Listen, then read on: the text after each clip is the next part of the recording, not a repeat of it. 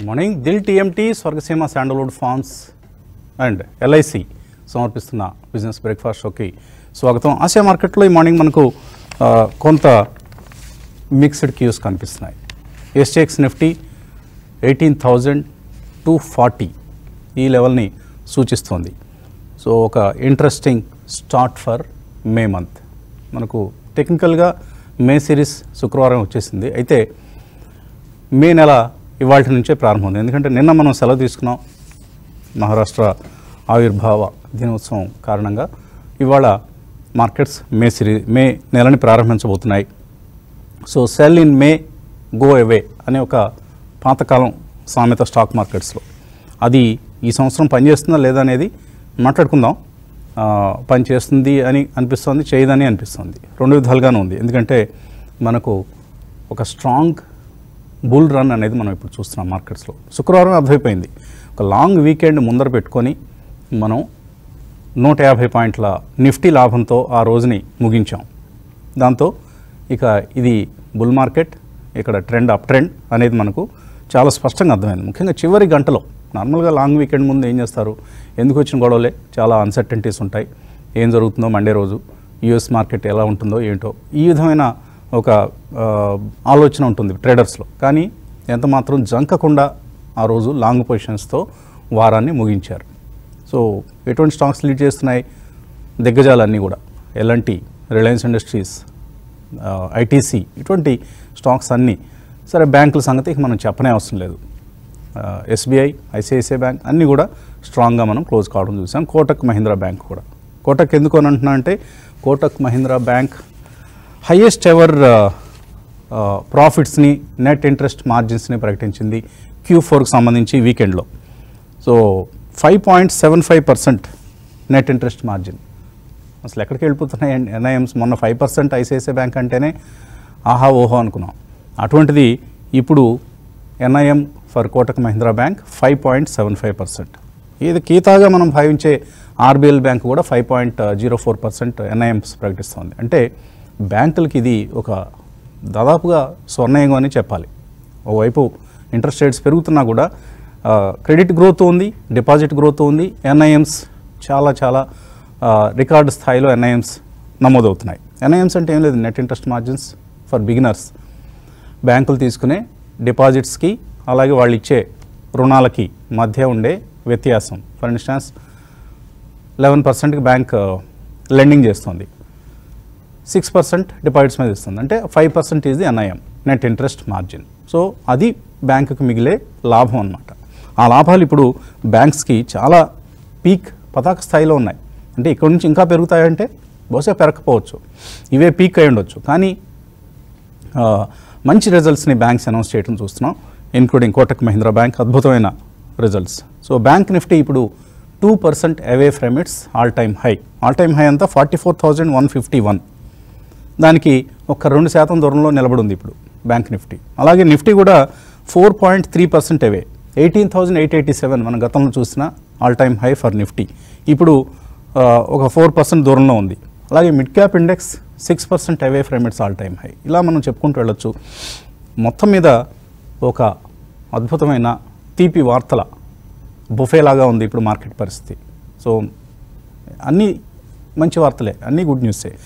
ఉన్నాయి. ఒకటి for instance మనకి ఆటో సేల్స్లో కొన్ని మిక్స్డ్ పెర్ఫార్మెన్స్ అనేది మనం చూసాం. మెజారిటీ బాగానే వచ్చాయి కొన్ని నిరాశపరిచాయి హీరో మోటో లాంటివి.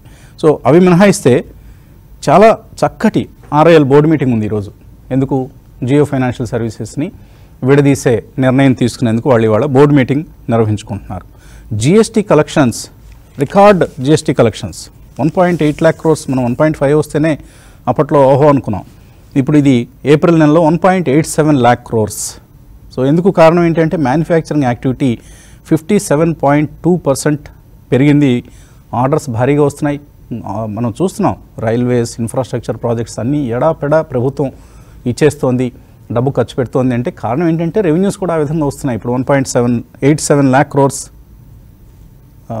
GST collection రావటమే దానికి ఒక నిదర్శనం. ఏప్రిల్ నెలలో coal production was up eight point seven percent మనం కోల్ లేదు చాలా ఇబ్బంది పడుతున్నాం అనుకునే తరుణంలో కూడా ఎయిట్ పాయింట్ సెవెన్ పర్సెంట్ పెరిగింది. సరే ఇప్పుడు అంటున్నట్లుగా ఆటో సేల్సే కొద్దిగా అయినా కూడా కార్ సేల్స్ కూడా eight three point five percent పెరిగాయి మనకు ఏప్రిల్ నెలలో. సో ఇటువంటి ఒక గోల్డ్ లాక్స్ సినారియో అంటాం. అటువంటి ఒక సినారియో కనిపిస్తుంది. అందుకనే నిఫ్టీ ఇదంతా కూడా మార్కెట్లు ముందుగానే తెలుసుకుంటాయండి. మార్కెట్స్ గెస్ట్ చేసినంతగా ఇంకా ఎవరూ గెస్ట్ చేయలేరు. సో ఎకానమిస్టులు కాదు మరొకళ్ళు కాదు. ఎకనమిస్టులు లాస్ట్లో గెస్ట్ చేస్తారు. బట్ మార్కెట్స్ ఎప్పుడు కూడా అగ్రస్థానంలో ఉంటాయి. ఇటువంటి అంచనాలను వాళ్ళు ఊహించడంలో. నిఫ్టీ లాస్ట్ వన్ మంత్లో six hundred and seventy points పెరగడానికి ప్రధాన కారణం ఈ ఇప్పుడు మనం అనుకుంటున్న మాటలన్నీ కూడా వార్తలన్నీ కూడా. సో క్యూ ఫోర్ ఎర్నింగ్స్లో మనం ఆ ట్రెండ్ చాలా స్పష్టంగా చూస్తున్నాం. కంపెనీలు ఎక్విజిషన్స్కి వెళ్తున్నాయి. మంచి హెల్దీ డివిడెండ్స్ ఇస్తున్నాయి. బహుశా హైయెస్ట్ ఎవర్ డివిడెండ్స్ ఈ టైంలో చూస్తున్నాం మనం. గతంలో ఎప్పుడూ లేనంతగా. అటువంటి ఒక పరిస్థితి మనకు కనిపిస్తుంది. వీకెండ్లో మనం కోటక్ బ్యాంక్ గురించి ఎలాగో మాట్లాడుకున్నాం. Parag milk products GHCL Seshasayee paper IDFC first bank IDBI bank central bank ఇవన్నీ కూడా మంచి results even UltraTech cement and some డిజిటల్టీస్ aggressive management commentary గమనించాం. ఇంకా రిజల్ట్ రాలేదు కానీ. కొద్దిగా నిరాశపరిచాయి. Jindal drilling SBI cards Atul auto ఇలాంటి కంపెనీస్ కొంత మనకు డిసప్పాయింట్ చేయటం అనేది చూసాం. రిజల్ట్స్ పరంగా. But majority are hits so ఇప్పుడే వార్త వస్తుంది. మిందా కార్ప్ ప్రికాల్ని ఎక్వైర్ చేస్తోంది. సో ఎక్విజిషన్ ప్రైస్ వచ్చేసి two nought nine per share అని. సో అది ఒక ఈ డెవలప్మెంట్ కూడా మనం గమనించాలి. మొత్తం మీద మనం పరిస్థితి చూస్తే ఆశాజనకంగా ఉంది. అండ్ నార్మల్గా మన ఎఫ్పిఐస్ ఎప్పుడు అగ్రెసివ్గా వస్తారు? ఈటీఎఫ్ మనీ ముఖ్యంగా. ఎక్స్చేంజ్ ట్రేడ్ ఫండ్స్ మనీ మార్కెట్లో మొమెంటం ఎప్పుడు ఉంటే అప్పుడు వాళ్ళు చాలా అగ్రెసివ్ అయిపోతారు. అది మనం ఫ్రైడే చూసాం. Three thousand three hundred crores worth స్టాక్స్ని వాళ్ళు క్యాష్ మార్కెట్లో కొంటాం. సో నార్మల్గా వాళ్ళు రైజింగ్ మార్కెట్లో ఇన్వెస్ట్ చేస్తారు. ఫాలింగ్ మార్కెట్లో సెల్లింగ్ చేస్తారు. ఇది తరచుగా జరిగేది ఎప్పుడు మార్కెట్స్లో జరిగే పరిణామమే. కాబట్టి ఇప్పుడు ఎఫ్ఐఎస్ అగ్రెసివ్గా సెల్ బయింగ్ చేయడానికి కారణం ఏంటంటే మూమెంటం కనిపిస్తోంది మార్కెట్స్లో ఆ మూమెంటంని వాళ్ళు బై చేస్తున్నారు. అంతకంటే పెద్ద సింపుల్ లాజిక్కే కాకపోతే ఇదంతా బాగుంది కదా. హడావుడిగా ఎగబడి డబ్బులు కమిట్ చేయాలని మాత్రం అనుకోవద్దు. కాంప్లసెన్సీ పనికిరాదు. క్వాలిటీ స్టాక్స్ని వాల్యుయేషన్స్ అట్రాక్టివ్గా ఉన్నాయనుకున్న స్టాక్స్లో మాత్రమే పొజిషన్స్ తీసుకోండి. ఎందుకంటే ఎయిటీన్ థౌజండ్ ఫైవ్ హండ్రెడ్ సమీపానికి వెళ్ళిన కొద్దీ నిఫ్టీకి రెసిస్టెన్స్ వస్తుంది. అలాగే బ్యాంక్ నిఫ్టీ కూడా. సో ఆ రెసిస్టెన్స్ని ఒక్కొక్కసారి five percent ten percent correction వచ్చినా కూడా మనం ఆశ్చర్యపోనవసరం లేదు. కాబట్టి ఆ అంశాన్ని దృష్టిలో ఉంచుకొనే ఇన్వెస్ట్మెంట్ డెసిషన్స్ తీసుకోవాలి. అంతేగాని మా ఇప్పుడు చెప్ చాలా గొప్పగా చెప్పేసుకున్నాం మనం అన్ని విషయాలు కూడా. ఇవన్నీ చూస్తుంటే మార్కెట్లో ఇన్వెస్ట్ అయిపోతే మనం వ్యధనం అయిపోతాం అని మాత్రం అనుకోవద్దు. మంచి కంపెనీలు మంచి ఎర్నింగ్స్ ఇస్తున్న కంపెనీలని ఎంచుకోవటం. అలాగే పీక్ స్థాయికి వచ్చింది మార్కెట్ అని మీకు ఎప్పుడైనా అనిపిస్తే అమ్మేసేయండి. ఎటువంటి మొహమాటం అవసరం లేదు. నిరభ్యంతరంగా అమ్మేసుకొని లాభాలు చేసుకోవడం అనేది మార్కెట్స్లో మనం చేయగలిగిన ఏకైక పని. గుడ్ మార్నింగ్ కుటుంబరావు గారు. Good morning. సో మార్కెట్స్ అయితే మనకి ఇవాళ ఒక గ్యాప్ అప్ ఓపెనింగ్ను సూచిస్తున్నాయి. మే మంత్ మంచి పాజిటివ్ స్టార్ట్ కాబోతోంది. ఏంటి ఏం చేయాలి ఈ- ఈ టైంలో? సెల్ ఇన్ మే అనే ఫెనామినాన్ని ఫాలో కావాలా? లేకపోతే ఏమీ ఇబ్బంది లేదు? హాయిగా అలాగా స్టే ఇన్వెస్టెడ్ అంటారా? లేదు అంటే ఫ్రెష్ బయింగ్ చేయాలా? కంటిన్యూస్గా చెప్తానే ఉన్నాం అండి. స్టాక్ స్పెసిఫిక్ వ్యూనే తీసుకోవాలి. ఎందుకంటే రిజల్ట్ సీజన్ కాబట్టి ఓన్లీ మే అని చెప్పేసి అక్రాస్ ద బోర్డ్ అమ్మేసి పోర్ట్ఫోలియో అనమాట లైటెన్ చేసుకుని వెళ్ళాల్సిన టైం అయితే కాదు క్లియర్లీ ఎందుకంటే పాజిటివ్స్ చూస్తున్నాం అనమాట మన మ్యాక్రో ఎకానమీ ఏ విధంగా పెర్ఫార్మ్ చేస్తుంది ఏంటనేది.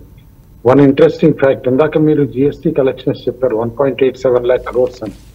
ఇంకో ఇంట్రెస్టింగ్ ఫ్యాక్ట్ అంటే మొన్న ఆదివారం నాడు అనమాట ప్యాసింజర్ ట్రాఫిక్ చూస్తాం అంటే ఎయిర్లైన్స్లో హైయెస్ట్ ఎవర్ ఇన్ హిస్టరీ అంటే వన్ సింగిల్ డే ట్రావెల్ చేసిన వాళ్ళు అనమాట ఫ్లైట్స్లో తిరిగిన వాళ్ళు హైయెస్ట్ ఎవర్ ఇన్ హిస్టరీ అనమాట అంటే ఇప్పుడు ఎంత ఎకానమీ రోబస్ట్గా ఉంటే కనుక ఇలాంటి స్మాల్ ఇండికేటర్స్ అనమాట మనకి చూపిస్తాయి. ఎకానమీ రియల్లీ బాగుందా లేదా ఎందుకు ఇంత ట్రావెల్ చేస్తున్నారు ఓన్లీ హాలిడే సీజనా లేకపోతే ఇప్పుడిప్పుడే ఎకానమీ తేరుకుంటుందని తిరిగి కిక్ స్టార్ట్ అవుతుందా? మ్యానుఫ్యాక్చరింగ్ యాక్టివిటీ అన్ని కూడా అందుకని అవుతుందా? ఇవన్నీ కూడా అయితే ఇష్యూస్ ఇండియన్ ఐ ఐఐపి కూడా మనం చూస్తే ఫాస్టెస్ట్ ఇన్ ఫోర్ మంత్స్ వచ్చింది గ్రోత్ దాన్ని బట్టి ఇండస్ట్రియల్ యాక్టివిటీ కూడా బాగుంది అని చెప్పేసి క్లియర్గా తెలి తెలుస్తుంది మనకి.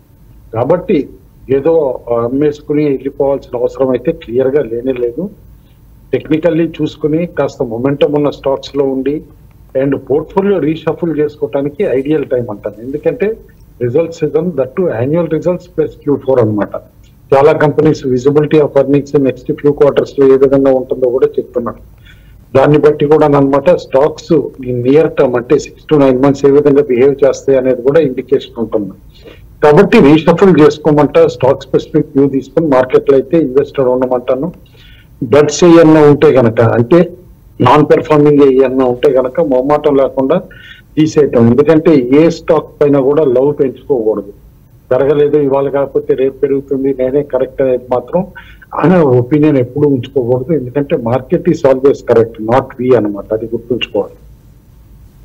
గ్లోబల్ క్యూస్ కూడా చూస్తా ఉంటే యుఎస్లో ఫస్ట్ రిపబ్లిక్ బ్యాంక్ ఎట్లా సీజ్ అయిపోయి జేపీ మార్గన్ తీసేసుకుందో కూడా మనం చూసాం అనమాట కాబట్టి అది సెకండ్ లార్జెస్ట్ బ్యాంక్ ఫెయిల్యూర్ యుఎస్లో అది కూడా చూసుకుంటే రీసెంట్ టైమ్స్లో అనమాట కానీ మార్కెట్ అది కూడా అక్కడ తట్టుకుని పెద్దగా ఏం పడలేదు. డవ్ అనమాట only around marginally fifty sixty points పడింది అనమాట ఎండ్ ఆఫ్ ది డేకి అండ్ ఓవరాల్గా అక్కడ కూడా మార్కెట్ డైజెస్ట్ చేసుకుంటుంది. ఎందుకంటే యుఎస్ ఫెడ్ మీటింగ్ ఉంది ఇప్పుడు. ఫెడ్ మీటింగ్లో అనమాట ట్వంటీ ఫైవ్ బేసిస్ పాయింట్స్ పెంచుతారు అని చెప్పేసి అని అనుకుంటున్నారు. ఈ ఫెటల్ ఇలాంటి బ్యాంకింగ్ క్రైసిస్ ఒక మినీ క్రైసిస్ డెవలప్ అవుతున్నప్పుడు ఫెడ్ కమెంటరీ ఏ విధంగా ఉంటుంది? అయినా కూడా వడ్డీ రేట్లు పెంచుతారా లేదా అనేది కూడా మనం కేర్ఫుల్గా అబ్జర్వ్ చేయాలి. ఎందుకంటే అవుననుకున్నా కాదనుకున్నా గ్లోబల్లీ కొంత ఇంపాక్ట్ ఉంటుంది. యుఎస్ ఫెడ్ యాక్షన్ అనమాట అండ్ వాళ్ళు ఇచ్చే కమెంటరీ కూడా. ఎందుకంటే ఆల్ సైడ్ ఏంటంటే largest economy in the world is US ఉంది కాబట్టి అది కేర్ఫుల్గా అబ్జర్వ్ చేయమంటాం. మన దగ్గర మాత్రం మొమెంటం ని బట్టి ఎఫ్ఐఎస్ ఎంత అగ్రెసివ్గా కొంటున్నారు చూసాము. మొన్న శుక్రవారం కూడా అనమాట దాదాపు మూడు వేల మూడు వందల కోట్ల పైన కొన్నారనమాట రోజు రోజుకి వాళ్ళ సైజ్ పెరుగుతోంది అనమాట పర్చేజెస్ సైజ్ కూడా. ముందు క్వైట్గా ఐదు వందల కోట్ల నుంచి స్టార్ట్ అయింది ఇప్పుడు దాదాపు మూడు వేల మూడు వందల కోట్లకి పెరిగిపోయింది పర్ డే అనమాట పర్చేజెస్ అయితే రెండో పక్కన గ్లోబల్లీ చూస్తూ ఉంటే గనక కొన్ని ఇండికేటర్స్లో డాలర్ టూ వీక్ హైక్ వచ్చేసింది మళ్ళా. ఓ పక్కన బంగారం స్టేబుల్ అవుతోంది ఎందుకంటే ఈ ఫస్ట్ రిపబ్లిక్ బ్యాంక్ ఫెయిల్యూర్ వీటన్నిటి మూలన వేరియస్ క్రూడ్ uh, మాత్రం కొంచెం తగ్గుతోంది. Which is a positive but ఇండియాకి పెద్ద బెనిఫిట్ ఉండే సూచనలు అయితే కనపడలేదు. ఎందుకంటే రష్యా నుంచి పర్చేజెస్ చేస్తున్నాం. ఏదైతే డిస్కౌంట్ ఉండేదో రష్యన్ క్రూడ్ కనమాట. దాదాపు ఇవాపరేట్ అయిపోయి ఇప్పుడు uh, మార్కెట్ రేట్స్కి వచ్చేస్తుందని చెప్పేసి కూడా అర్థం చేసుకోవాలి. All in all markets are in robust condition but technically euphoria అనమాట అలా పరిగెత్తుకుని వెళ్ళి కొనాల్సిన టైమ్స్ అయితే ఎప్పుడూ ఉండవు మార్కెట్లో ఎందుకంటే చెప్తాం. ఒక ఓల్డ్ ఇది కూడా ఉంది కహానీ ఉందన్నమాట మార్కెట్లో buy when there is blood on the streets అంటారు. Sell when there is lot of activity or shouting in the street అని చెప్పేసి.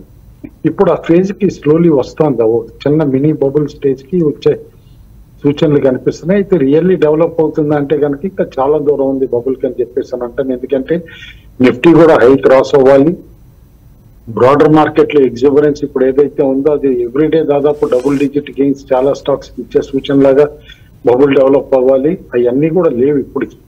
చాలా అట్రాక్టివ్ పిఈస్లో దొరుకుతున్నాయి.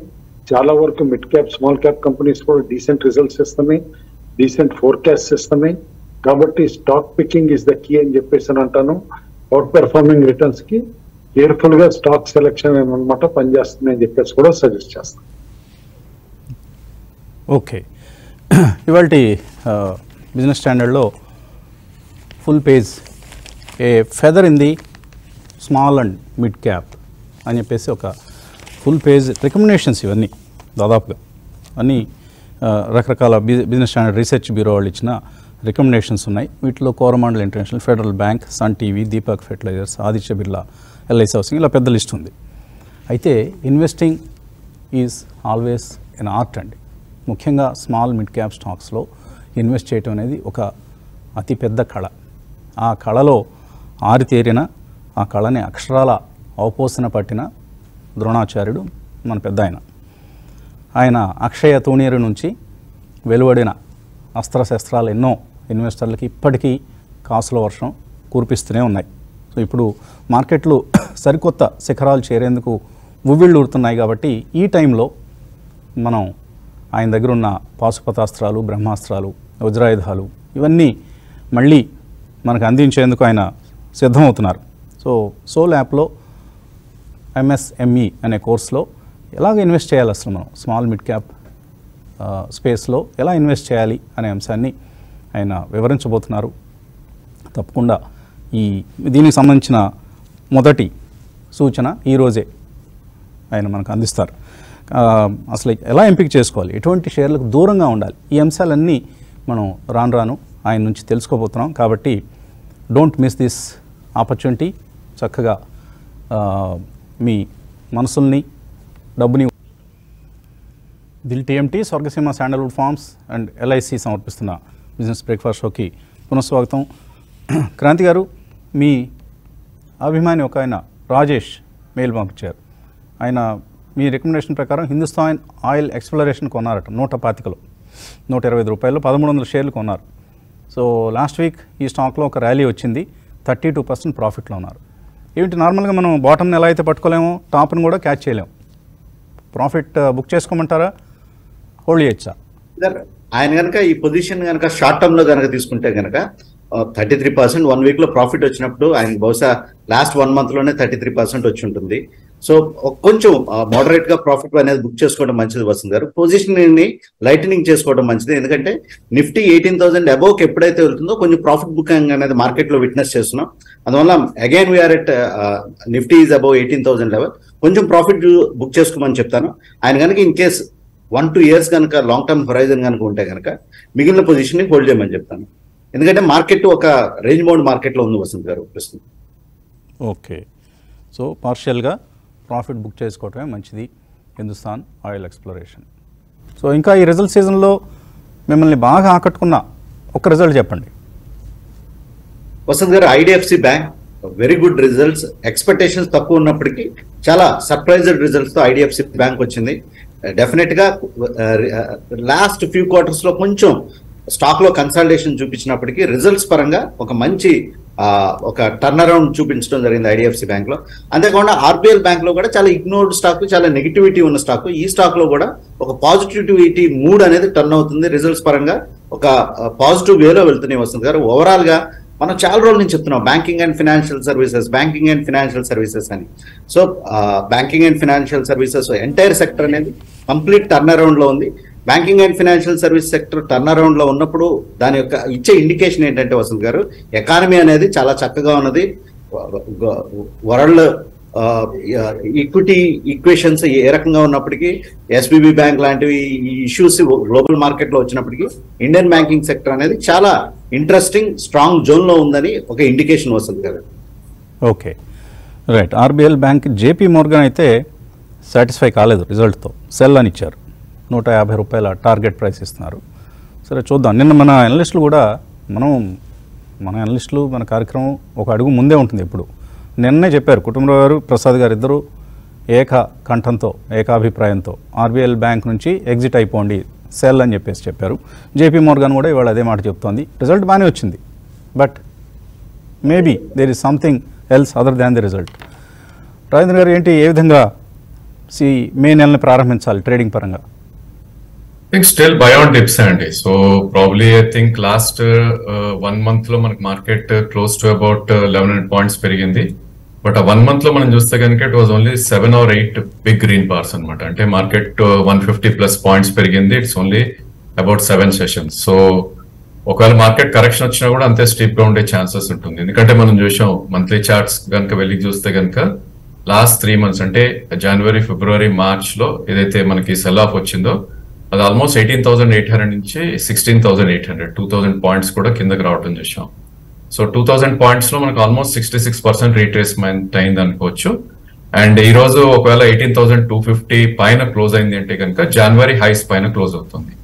సో ఫ్రైడే రోజు మనం చూసాం బ్యాంక్ నిఫ్టీ ఏదైతే అవుట్ పర్ఫార్మెన్స్ uh, ఉందో దాన్ని నిఫ్టీ కూడా క్యాచ్ అప్ అయింది. ఎందుకంటే జనవరి హై మనకి bank Nifty forty three five seventy eight రావటం చూసాం.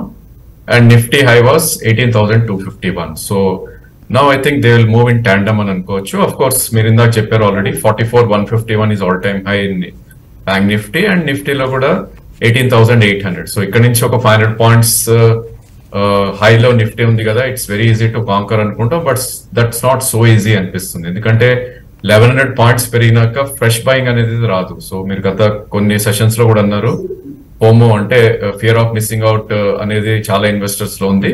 ఒకవేళ వాళ్ళు వచ్చారు అనుకుంటే కనుక డిస్ట్రిబ్యూషన్ ప్యాటర్నే జరిగే ఛాన్సెస్ ఎక్కువ ఉంటుంది. So all in all trade setup అయితే బుల్స్ కే ఫేవరబుల్గా ఉందని చెప్పొచ్చు. As long Nifty trades above seventeen thousand six sixty two which is two hundred day moving average so all in all మనకి ఇంతకుముందు రేంజ్ సెవెంటీన్ టూ నుంచి seventeen eight అనుకునేది now it has clearly shifted so down side maybe seventeen five అనుకోవచ్చు which is two hundred day moving average and up side probably వాళ్ళు eighteen two fifty one పైన close అయితే eighteen thousand eight eighty seven ఏదైతే all time ఉందో అది open up అవుతుంది. So ఈ thirteen hundred points రేంజ్లో ట్రేడ్ అయ్యే ఛాన్సెస్ మనకి ఎక్కువ కనిపిస్తుంది సిమిలర్లీ బ్యాంక్ నిఫ్టీ కూడా I think we all know forty four thousand one fifty one ఏదైతే ఉందో that will act as a resistance అనేది.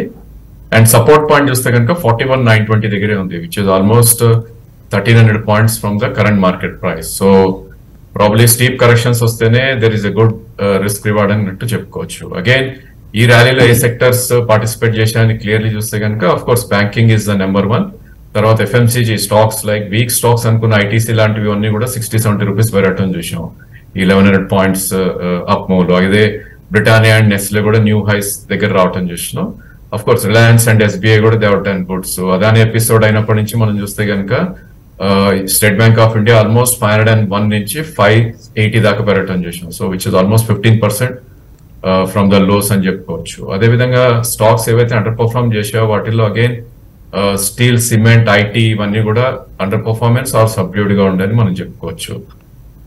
అండ్ ఐ థింక్ మనం Friday we are discuss about Zomato Vasant garu. I think దానిలో ఏదైతే monthly breakout వచ్చిందో probably ఆ రోజే మనకి ఎయిట్ పర్సెంట్ రిటర్న్ ఇవ్వడం చేసాం సో ప్రాబ్లీ ఈ స్టాక్లో దెర్ ఇస్ మోర్ స్టీమ్ అని చెప్పుకోవచ్చు. ఎందుకంటే అది ప్రీవియస్ మంత్లీ హై ఏదైతే ఉందో దానిపైన క్లోజ్ అవటం చూసాం which is about sixty rupees seventy paisa and clearly Friday రోజు వాల్యూమ్ తోటి two hundred day moving average కూడా బ్రేక్అవుట్ అయింది.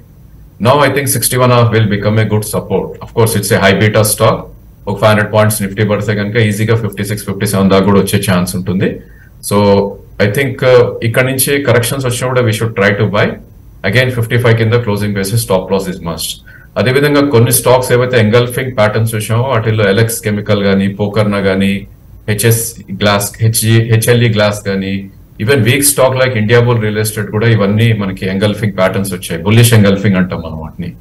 సో వాటిల్లో కూడా దేర్ ఇస్ గుడ్ ఆపర్చునిటీ అని అంటాను. డిప్స్ వచ్చినప్పుడు.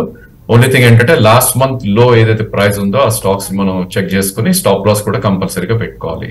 అండ్ లారస్ ల్యాబ్ ఒక stock which we can talk about is ఎందుకంటే ప్రాబ్లీ మనకు ఆల్రెడీ రిజల్ట్స్ ముందే it has made a bottom and after almost eight months red bar తర్వాత ఐ థింక్ ఏప్రిల్ సిరీస్లో ఏప్రిల్లో మన గ్రీన్ బార్ రావటం చూసాం so this indicate some bottom formation జరిగిందని మనం గత కొన్ని నెలలుగా చెప్తున్నాం. టూ ఎయిటీ వస్తే కనుక there is a big support అని. So results next day it made two seventy ఎయిట్లో so that should be the stop loss maybe three forty nine initially it can move up and again three ninety eight దాకా కూడా వెళ్ళే chance ఉంటుంది if everything goes good so ఈ స్టేజ్లో ఒక five ten rupees correct అయితే risk reward would be one is to four కాబట్టి even Laurus కూడా డిప్స్లో we can choose to buy so Kutumbarao hold చేస్తున్నారా? రెండు వందల ఎనభైలో కొన్నా అన్నారు మొన్న ఫ్రైడే రోజు మీరు. లారస్ ల్యాబ్స్ రోజునే because commentary was very good Satyanarayana garu చెప్పిన తీరు తోటి టాగ్రో కెమికల్స్ కానీ మిగతా సెగ్మెంట్లోకి కంపెనీ కాస్త ఇన్సులేట్ చేసుకుంటుంది. ఏఆర్వీ నుంచి రెవెన్యూ ఏదైతే తగ్గుతోంది మార్జిన్స్ తగ్గినాయో దాని నుంచి. ఏదైనా సరే ఏ కంపెనీ అయినా తీసుకునే steps over night returns fetch చేయవండి correct అది ప్లే అవుట్ అవటానికి టూ క్వార్టర్స్ త్రీ క్వార్టర్స్ పడుతుంది. కానీ అంత ప్లే అవుట్ అయిన తర్వాత కొందామంటే మళ్ళీ తిరిగి మీరు వెళ్ళి అక్కడ నాలుగు వందల యాభైలో అట్లా కొనాలి. ఇంత మార్కెట్ ఇందాక మీరే చెప్పారు it's a question of art అన్నమాట. How you visualise how you expect and how you work out అన్నమాట మీ ఇన్వెస్ట్మెంట్ దానిది. It's an art and definitely an investor in Laurus at this stage okay so invest in Laurus at this price.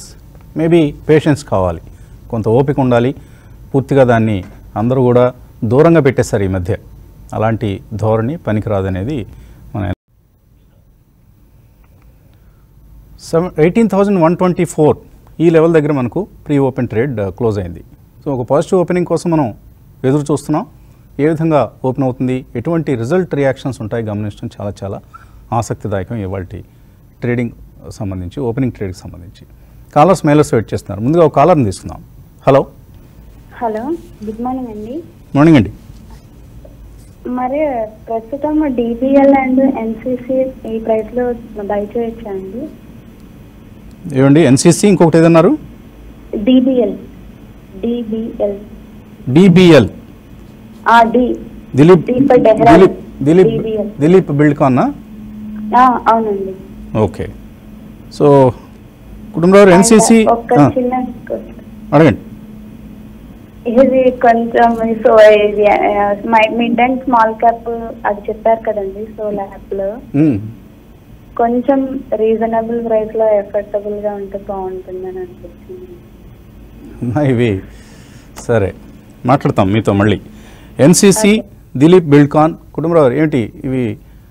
కొనుక్కోవచ్చా ఇక్కడ? ఉంచుకోవాలండి. Infra players రెండు ఉంచుకోవాలి. NCC అయితే కనుక ఎక్కడ కొన్నారో తెలియదు కానీ కూడా టాప్ పెర్ఫార్మర్గా ఉంది. చూస్తున్నాం మనం. Already closer to one twenty వచ్చింది. రిజల్ట్స్ తర్వాత ఐఎమ్ ఎక్స్పెక్టింగ్ ఇట్ మేబీ కాస్త కన్సాలిడేట్ అయినా కూడా one forty two to one sixty బ్యాండ్లోకి వెళ్తుంది. ఎందుకంటే వర్స్ట్ అయిపోయింది. కంపెనీ బాగా పెర్ఫార్మ్ చేస్తుంది. కాబట్టి you should hold on to the winner అని చెప్పేసి అని అంటాను దిలీప్ బిల్డ్కాన్ ఇప్పుడిప్పుడే రికవర్ అవుతుంది. అండర్ పెర్ఫార్మర్గా ఉండింది ఇంతకాలం. లాస్ట్ కపుల్ ఆఫ్ ఇయర్స్ చాలా వెల్త్ కూడా డిస్ట్రక్షన్ అయింది. బట్ ఇప్పుడు అనమాట కాస్త హయ్యర్ బాటమ్ ఫామ్ అవుతుంది. కానీ ఇంకా కొంచెం రిస్క్ అయితే ఉంది. రిజల్ట్ అయితే కేర్ఫుల్గా చూడమంటాను. రిజల్ట్ తర్వాత బెటర్గా ఉంటే హోల్డ్ చేయాలి హోల్డ్ చేయాలి. లేకపోతే shift to any other infra player like GMR infra కానీ ఎన్సీసీ కానీ అని చెప్పేసి అని అంటాను సో ఎన్సీసీ వన్ ట్వంటీ ఈ లెవెల్ని సక్సెస్ఫుల్గా నిలబెట్టుకోగలిగితే వన్ ఫిఫ్టీ దిశగా వెళ్తున్నట్లుగా కనిపిస్తుంది. మరో కాలర్ లైన్లో ఉన్నారు. హలో. హలో. నమస్తే అండి. సూర్యబాబు పేరు. సూర్యబాబు. కుటుంబరావు గారు హాయ్, కుటుంబరావు గారు అండి. ఆట్- స్టాంపింగ్ లిమిటెడ్ అసాల్ అని ఉంటుంది. అది ఫోర్ హండ్రెడ్లో ఎస్ బ్యాంక్ ఏమో ట్వంటీ ఫోర్లో కొన్నాను. రెండు హోల్డ్ లేకపోతే వేరే వేరే మారమంటారా? ఆటో స్టాంపింగ్స్ అనే కంపెనీ కొన్నారు. ఇప్పుడు నలభై ఐదు రూపాయలు కనిపిస్తుంది. అదే కదా? మీరు అడిగింది? కాదు సార్ కాదు ఫోర్ హండ్రెడ్ అండి. ఫోర్ హండ్రెడ్ ఉంది కదండి. ఆటో స్టాంపింగ్ టాటా గ్రూప్ అండి. Okay ACGL automobile corporation of గోవానా? కాదండి కాదండి. ఆటో స్టాంపింగ్ లిమిటెడ్ అండి సార్. Auto stamping limited. అని వస్తుంది ఏఎస్ఏఎల్ అండి. ఆల్ ఎస్ఎస్సీ ఆల్కాల్ కాకుండా ఆటోమోటివ్ స్టాంపింగ్స్ అండ్ అసెంబ్లీస్. ఇదే కదా? నాలుగు వందలకు ఉన్నారు మూడు వందల నలభై నాలుగు ఉంది ఇప్పుడు. ఓకే. రైట్ కుటుంబంలో ఏంటి ఏం చేయొచ్చు? నష్టంలో ఉన్నారా? యాక్చువల్గా రిజల్ట్ వీక్గా వచ్చిందండి డిసెంబర్ ఎండింగ్ అందుకనే స్టాక్ కూడా తగ్గటం జరిగింది. బట్ హోల్డ్ చేయమంట వాల్యూమ్స్గా ఉంటాయి ఇందులో. Only around ten thousand fifteen thousand అట్లా ట్రేడ్ అవుతా ఉంటాయి అనమాట బట్ డెఫినెట్లీ హోల్డ్ చేయమంట. ఒక హైప్ తోటి మధ్యలో ఈ అదా along with other Tata group automobile స్టాక్స్తో పాటు దీన్ని ఆరు వందల వరకు తీసుకెళ్ళడం కూడా చూసాం. అక్కడి నుంచి స్టాక్ కరెక్ట్ అయింది కంటిన్యూస్గా. ఆరు వందలు కూడా ఎప్పుడు టచ్ అయిందని చూస్తే కనుక లాస్ట్ ఇయర్ అరౌండ్ ఇదే టైం అప్పుడు టచ్ అయింది. జూన్లో అనమాట అక్కడి నుంచి నాన్ స్టాప్ తగ్గుతానే వచ్చింది అనమాట స్టాక్ ఎట్ కరెంట్ లెవెల్స్ మాత్రం హోల్డ్ చేయమంట. త్రీ ఫార్టీ ఫోర్లో ఒక mild rally up to three ninety four హండ్రెడ్కి వచ్చినప్పుడు ఎగ్జిట్ అవ్వమని చెప్పేసి అని అంట. ఓకే ఆ, సరే క్రాంతి గారు ఎస్ బ్యాంక్ గురించి ఏం చెప్తారు మీరు? సార్ ఈ టైంలో అయితే ఇంకా still it's not out of the woods Vasant గారు. ప్రస్తుతం అయితే హోల్డ్ చేయమని చెప్తాను. ఫ్రెష్ పొజిషన్స్ అయితే ఏం బిల్డప్ చేయొద్దని చెప్తాను వసంత్ గారు.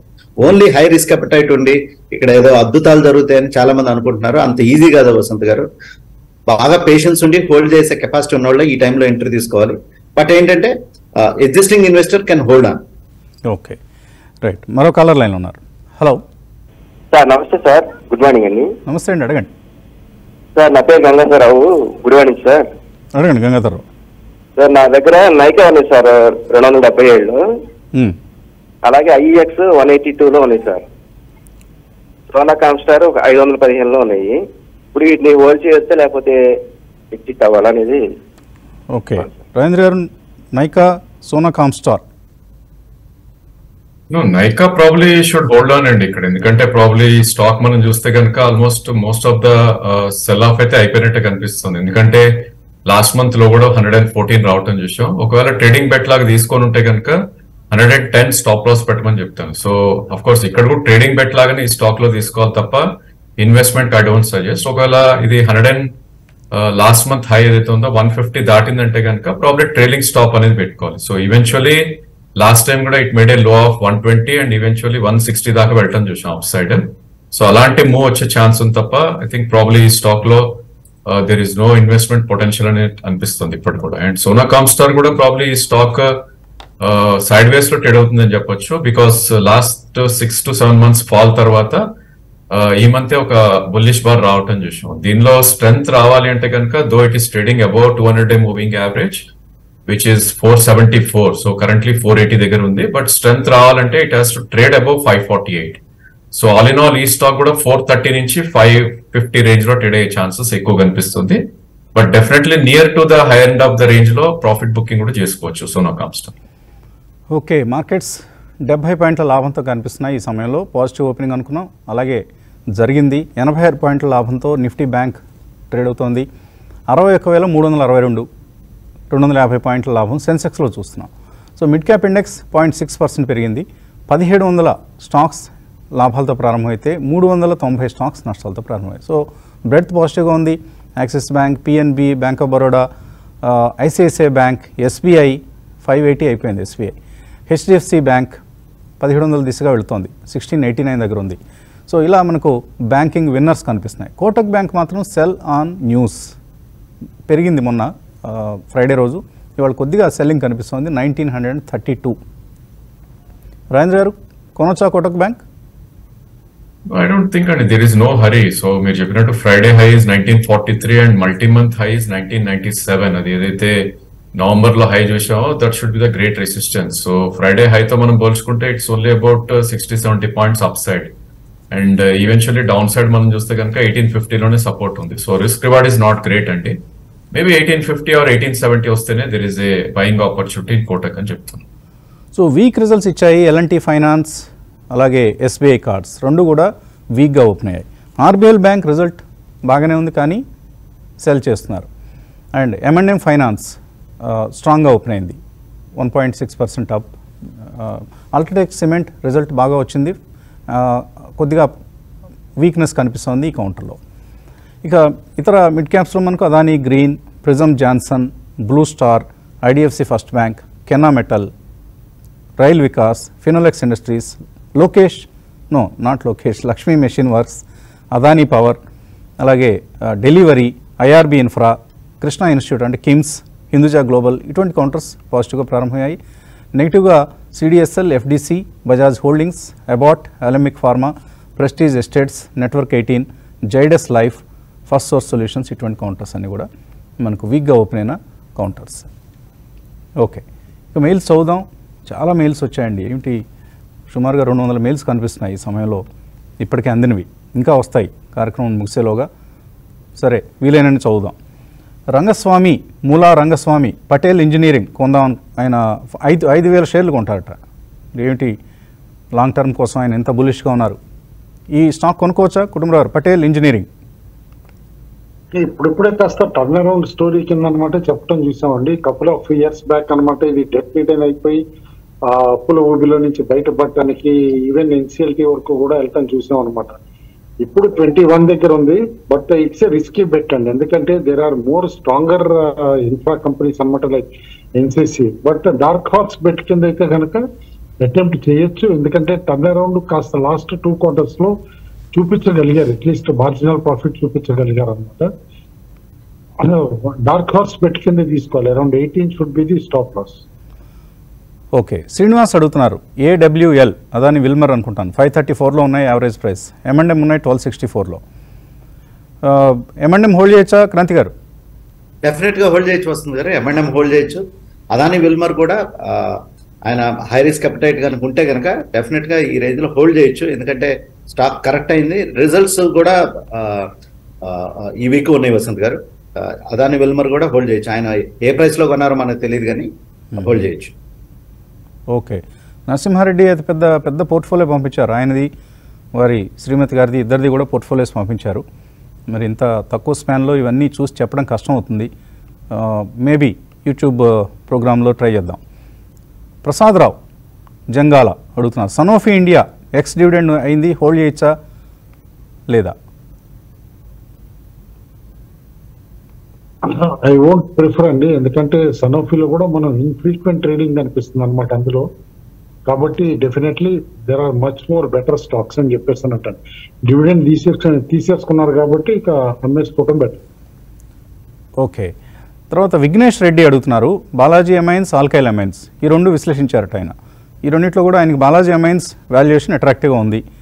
ఇప్పుడున్న వాల్యుయేషన్లో కొనుగోలు చేయొచ్చా? Three to five years I think is right అండి అట్ కరెంట్ వాల్యుయేషన్ మాత్రం బాలాజీ ఎంఎన్స్లో ఫ్రెష్ బయింగ్కి తిరిగి కమెంట్స్ చేయొచ్చు.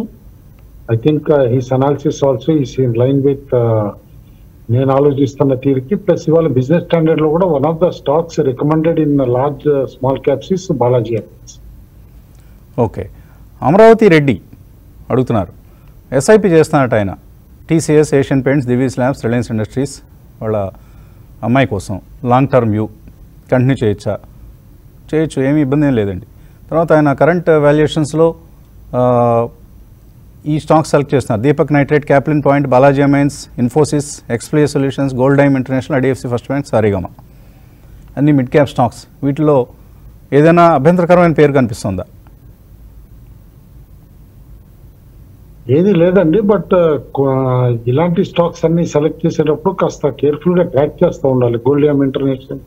ఇలాంటి స్టాక్స్ అన్ని కూడా అనమాట it's not easy to track all the stocks అనే కంటిన్యూస్ బేసిస్ జాగ్రత్తగా మానిటర్ చేసుకోవాలి.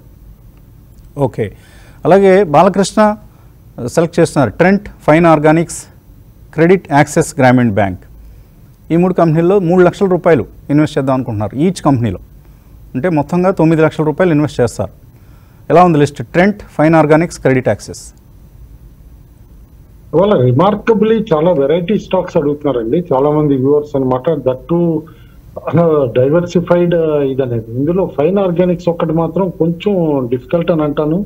ఎందుకంటే అనుకున్న రిటర్న్స్ రాకపోవచ్చు. స్టాక్ అయితే ఆల్రెడీ సెవెన్ థౌసండ్ లెవెల్స్ దగ్గర నుంచి అనమాట four thousand five hundred levels దాకా పడిపోయింది. Twenty was an under performer in retail అనమాట బట్ మొన్న రిజల్ట్స్ కమెంటరీ ఇప్పుడు కొత్తగా వాళ్ళు లాంచ్ చేస్తున్న ప్రొడక్ట్స్ కానీ ఇవన్నీ కూడా దీన్ని బట్టి చూస్తే ఓకే అని అంటాను బాలాజీ ఎల్జీ బాలకృష్ణన్ ఇందులో నాలుగు వందల అరవై రూపాయలు నాలుగు వందల యాభై షేర్లు కొన్నారు. రిజల్ట్స్ యావరేజ్గా పోస్ట్ చేసింది. ఇప్పుడు ఎయిటీ పర్సెంట్ లాభంలో ఉన్నారు. డివిడెండ్ పదహారు రూపాయలు ఇస్తున్నారు. కాబట్టి హోల్డ్ చేయొచ్చా? టెక్నికల్గా ఎలా ఉంది? LG Balakrishnan. I think profit ఉంటే కనుక I should immediately sell some stock అండి. సో డెఫినెట్లీ టెక్నికల్ అయితే స్ట్రాంగ్ ఉంది. న్యూయర్ హైస్ ఉంది. మేబీ రిజల్ట్స్ రియాక్షన్ కొద్ది వీక్గా ఓపెన్ అయింది ఈ రోజు బట్ ఐ థింక్ ఇక్కడ నుంచి కూడా fifteen twenty percent up side potential అయితే కనిపిస్తుంది. But eighty percent he's making money కాబట్టి atleast thirty or forty percent of his quantity should book profits అని నా suggestion okay so banking stocks అన్నీ కూడా bank of Baroda ICICI bank అన్నీ స్ట్రాంగ్గా trade అవుతున్నాయి. But Kotak and RBL bank మాత్రం వీక్గా ట్రేడ్ అవుతున్నాయి ఓపెనింగ్ ట్రేడ్లో. సో ఇంకా చాలా మెయిల్స్ ఉన్నాయి అన్నిటిని మనం పిఓఐటీ మార్కెట్స్ యూట్యూబ్ ఛానల్లో ఆఫ్టర్ బ్రేక్ఫాస్ట్ షోలో తీసుకుందాం. థ్యాంక్స్